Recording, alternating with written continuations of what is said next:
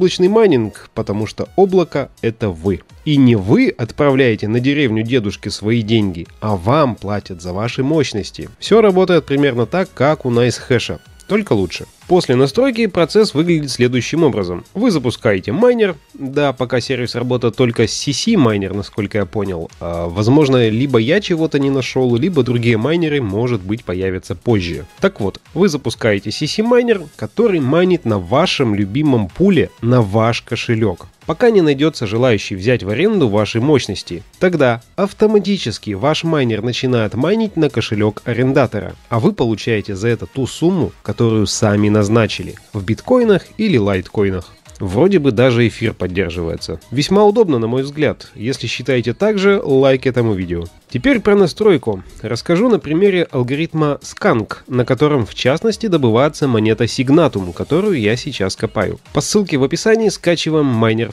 Далее регистрируемся на самом сервисе, ссылка также в описании. Процедура традиционная проста, как апельсин. Имя, почта, пароль, пин-код для изменения настроек и галочка согласия с условиями сервиса. Жмем «Создать аккаунт». Зашли, далее справа жмем «My Rigs». На этой же странице будут видны ваши уже созданные риги и основная информация по ним. Жмем «Создать новый риг». У вас, понятное дело, в начале этого не будет.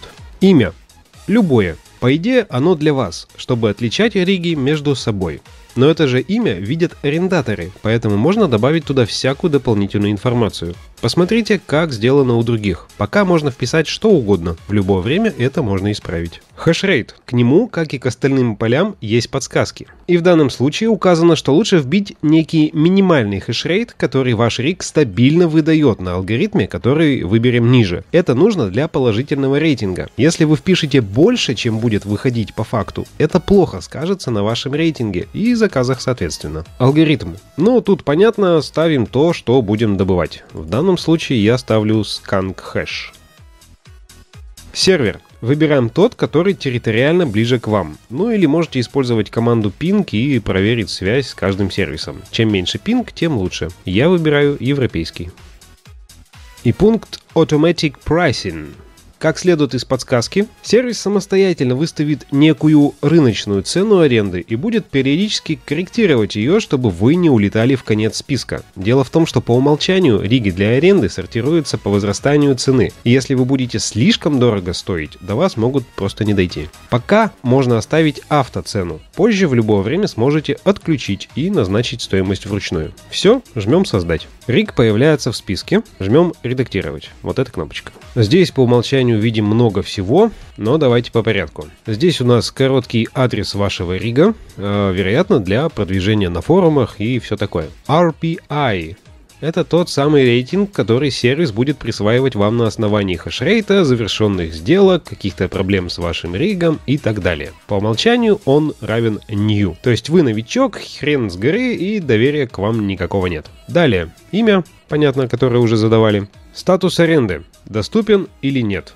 По умолчанию нет. И пока на время настройки так и оставьте. Хешрейт. В нужных величинах соответственно, килохэши, мегахэши и так далее, которые задали при создании рига. Тут его также можно поменять при необходимости. Количество видеокарт или других девайсов, ну там процессоров, асиков и так далее, которые используются в вашем риге. Предполагаемая сложность, на которой ваш риг лучше всего работает. Клиент может использовать ее, чтобы задать такую же на пуле. Если не знаете, то ее нужно посмотреть в процессе майнинга в окне майнера. Тип алгоритма, который выбрали ранее. И то же самое снова можно выбрать сервис, ну тут все понятно. Логин и пароль воркера. Тоже как обычно на любых пулах. Логин присваивается автоматически, пароль по умолчанию X.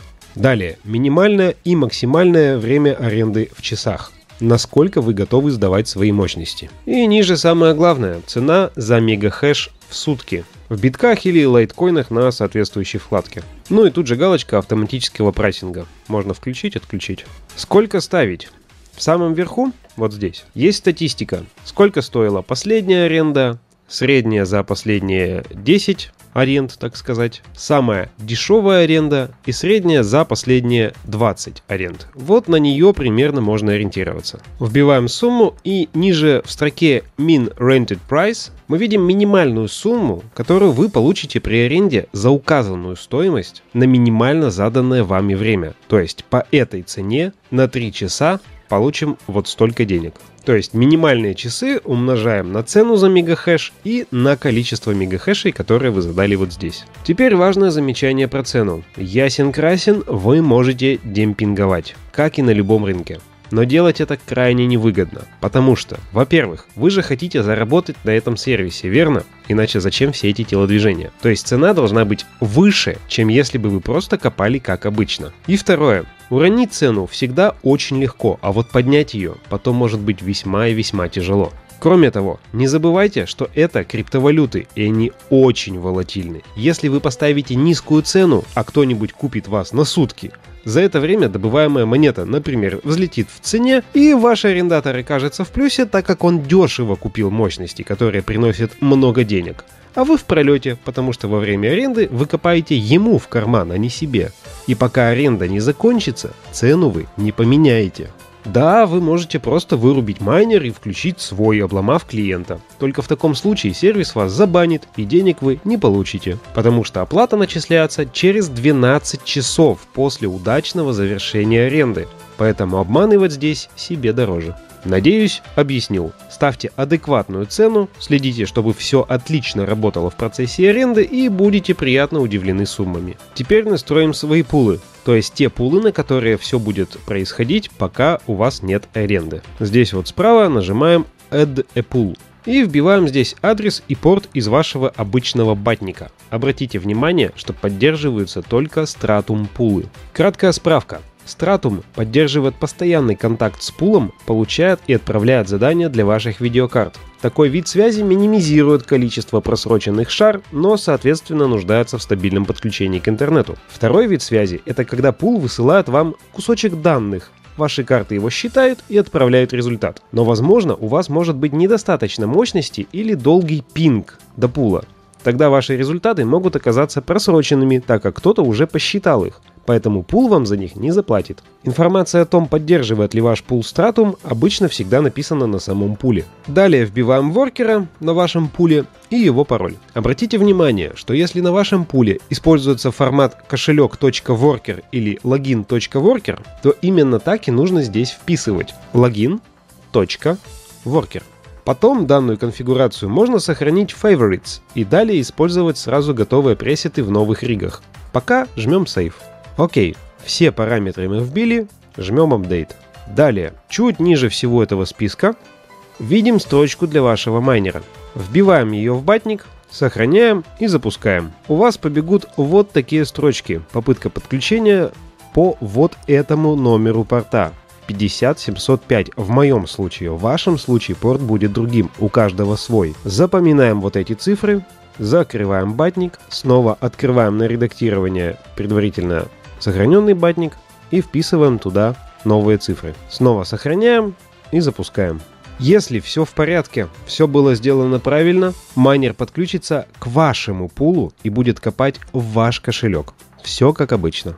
Обратите внимание, что подключение может произойти не сразу. Иногда может появиться сообщение о том, что нет связи и реконнект через 30 секунд. И это может длиться до 3 минут согласно информации сервиса. Нужно подождать. Если все заработало, отлично, возвращаемся обратно в настройки рига и ставим галочку «Доступен к аренде». Нажимаем «Апдейт». И ждем первого клиента. Как только кто-то вас арендует, майнер сам переключится на пул и кошелек заказчика, а вам на почту придет уведомление об этом. При аренде в списке ригов изменится статус Rented, а в настройках рига на вкладке Rental Information появится вот такая вкладка. Вы сможете посмотреть подробности. Оставшееся время аренды, сколько общая стоимость, кто арендовал вас, мощность, которую вы заявили при аренде, общее время аренды, время начала и время окончания аренды. Чуть ниже есть поле, где вы можете выдать заказчику бонусное время, за которое он не будет платить. Зачем? В качестве бонуса. Учитывая, что обычно сдача в аренду стоит дороже, чем майнинг себе в карман, можно выдать небольшой бонус арендатору в надежде, что он купит вас еще раз. Разумеется, это дело добровольное и ничего не гарантирует. Все на ваше усмотрение. На вкладке Communication арендатору можно что-нибудь написать. Ну и плюс тут есть всякая статистика по воркерам, э, живой хешрейт. Обратите внимание, пунктиром указан заявленный хешрейт. И неплохо было бы, если бы актуальный хешрейт, который обозначен соответствующими линиями и цветом, чтобы он был, ну, как минимум, не ниже иначе это отрицательно скажется на рейтинге. Есть история аренды, кто, когда, когда началось, когда закончилось, сколько стоило, как звали. Есть описание рига и история транзакций. Да, насчет описания рига. Поле не обязательно к заполнению, но здесь вы можете написать все, что хотите о вашей ферме. Какая она замечательная, какой вы молодец и все такое. Не забудьте нажать апдейт. По настройке вроде бы все. Теперь про деньги. Жмем на балансы справа вверху.